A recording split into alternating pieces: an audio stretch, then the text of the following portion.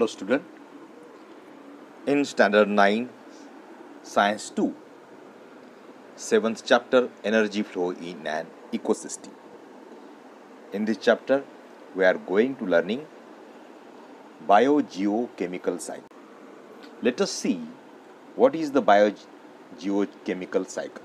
The cycle flow of nutrients within an ecosystem is called as a biogeochemical cycle You know the word bio means biology, geo means geographical, chemical means some chemicals, and all are the united in this cycle.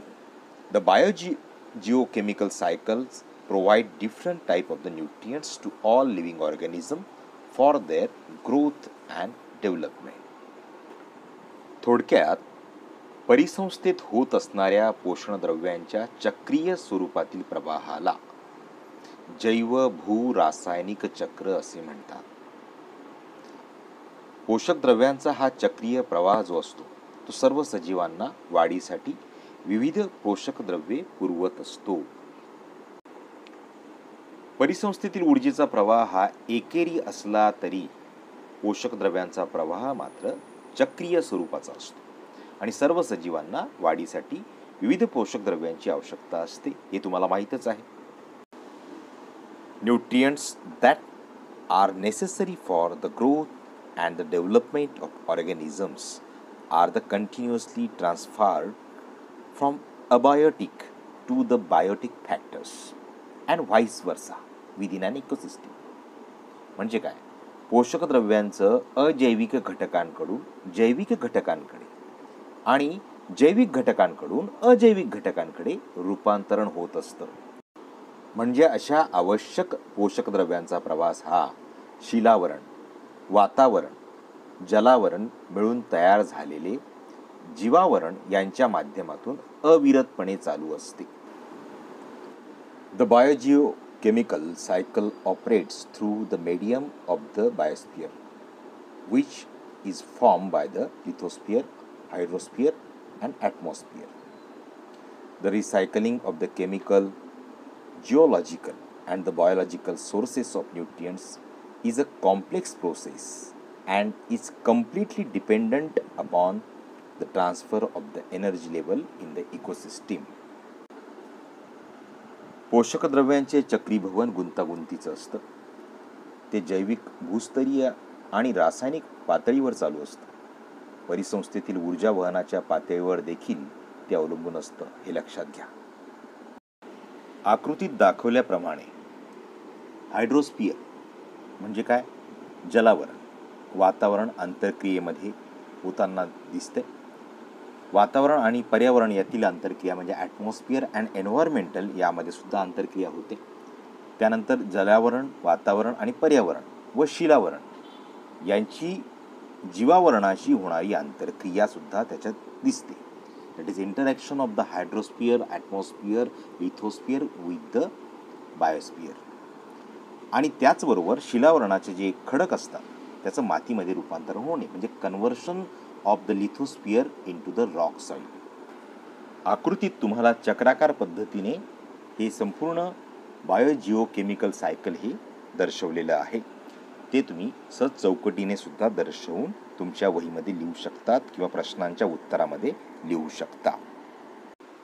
Name the types of the biogeochemical cycle there are the two types of the biogeochemical cycles gaseous cycle and the sedimentary cycle आपल्याला जीवभू रासायनिक चक्राचे प्रकार इथे समजून घ्यायचे एकाला म्हणतो आपण वायुचक्र आणि दुसऱ्याला म्हणतो आपण अवसादन म्हणजे भूचक्र. सेडिमेंटरी म्हणजे सेडिमेंटरी हे रॉक्सचे प्रकार आपण म्हणत असतो. मृदा माती तयार होत असते. हे दोन्ही फरक सोप्या भाषेत तुम्ही लिहू शकतात. गॅसेस सायकलमध्ये लिहू शकतात. The gases cycle is a found in the earth's atmosphere ते वातावरणात आढळतं. याच्यात काय लिहिणार आपण? सेडिमेंटरीमध्ये the sedimentary cycle is found in the soil sediment and the sedimentary rocks of the earth दुसरा टप्पा याच्यातमध्ये लिहू शकतात. It includes the nitrogen carbon oxygen and the water vapours cycles हे आपण गॅसेसमध्ये लिहू शकतो. आणि सेडिमेंटरीमध्ये काय लिहिणार? It's includes soil component like iron calcium and the phosphorus थोडक्यात आपण समजून घेऊया. वायुचक्र म्हणजे पृथ्वीच्या वातावरणातून ते जमिनीपर्यंत. अजैविक वायुरूप पोषक द्रव्यांचा हा प्रवास असतो. आणि अवसाधन भूचक्र म्हणजे काय? तर पृथ्वीवरील मृदा अवसाद आणि अवसादी खडकात मुख्य अजैविक पोषक द्रव्यांचे संचयन होत असते म्हणजे साठवले जात असतात. म्हणजे आयरन म्हणजे लोह कॅल्शियम फॉस्फरस आणि जमिनीतील इतर घटकांचा त्याच्यामध्ये समावेश असतो. वायुचक्र वेगाने घडते. हवामानातील बदल आणि मानवी क्रियांमुळे वायुचक्रांची गती तीव्रता आणि संतुलन यावर गंभीर परिणाम होत आहे. अवसाधन चक्र जमिनीवरच्या प्रदूषणाने असंतुलित होत आहेत वायुचक्र आणि अवसाधन चक्र हे दोन्ही चक्रे एकमेकांवर अवलंबून असतात. नायट्रोजन आणि कार्बन हे दोन्ही अजैविक घटक वायुरूपात असतात आणि खनिजाच्या स्वरूपात जमिनीवर पण ते आहेत. कार्बन चक्र ऑक्सिजन चक्र आणि नायट्रोजन चक्र ही तिन्ही महत्वाची जैव भू रासायनिक चक्रे आहेत. तीच आपल्याला अभ्यासायची आहेत अजून. आपण एक व्हिडिओच्या द्वारे हे आणखी चांगल्या रीतीने समजून घेऊया. बघूया. मुलांनो जैव भू रासायनिक चक्राचा अर्थ व त्याचे प्रकार याविषयी आपण माहिती पाहूया. जैव म्हणजे सजीव आणि भू म्हणजे जमीन. पोषण द्रव्यांच्या परिसंस्थेतील चक्रीय स्वरूपातील प्रवाहाला जैव रासायनिक भूचक्र असं म्हणतात. सजीवांच्या वाढीस आवश्यक असणाऱ्या पोषक द्रव्यांचे अजैविक घटकांकडून जैविक घटकांकडे आणि जैविक घटकांकडून अजैविक घटकांकडे रूपांतरण होत असते. शिलावरण वातावरण जलावरण मिळून तयार झालेले जीवावरण यांच्या माध्यमातून हे चक्र अविरत चालू असते. या प्रक्रियेमध्ये जैविक भूस्तरीय आणि रासायनिक पोषक द्रव्यांचे चक्रीभवन गुंतागुंतीचे असते. तसेच ते परिसंस्थेतील ऊर्जा वहनाच्या पातळीवर अवलंबून असते. जैव भूरासायनिक चक्राचे दोन महत्त्वाचे प्रकार आहेत. वायुचक्र अवसादन किंवा भूचक्र. मुलांनो हा तक्ता पहा. या तक्त्यामध्ये वायुचक्र आणि अवसादन या दोघांचे फरक स्पष्ट केले आहेत. वायुचक्र मुख्य अजैविक वायुरूप पोषक द्रव्यांचे संचयन पृथ्वीच्या वातावरणात आढळते. अवसादन म्हणजे भूचक्र मुख्य अजैविक पोषक द्रव्यांचे संचयन पृथ्वीवरील मृदा अवसाद व अवसादी खडकात आढळते. वायुचक्र नायट्रोजन ऑक्सिजन कार्बन डायऑक्साईड बाष्प ही महत्वाची वायुचक्रे आहेत.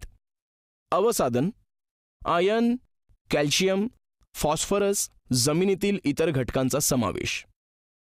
वायुचक्र. वायुचक्रात अजैविक वायुरूप पोषक द्रव्ये हवेत असतात. अवसादन.